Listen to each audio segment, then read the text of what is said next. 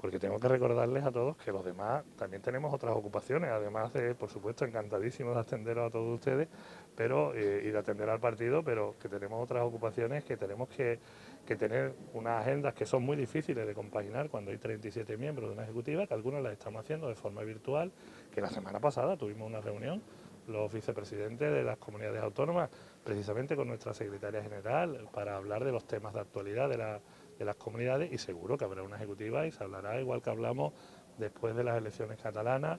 y donde, bueno, pues ya pasamos página de ese asunto y nos pusimos a trabajar en lo que es el futuro. Yo creo que hay total normalidad dentro de las posibles discrepancias, de, de las diferencias que siempre puede haber entre personas que conformamos una ejecutiva muy amplia y donde evidentemente los puntos de vista pues, pueden ser diferentes. Pero más allá de eso, eh, nadie pone en discusión el liderazgo eh, de Inés Arrimada, ni por supuesto que estamos en la dirección correcta. Y hacer lo correcto no siempre es fácil, ¿no? pero es nuestra forma de hacer política.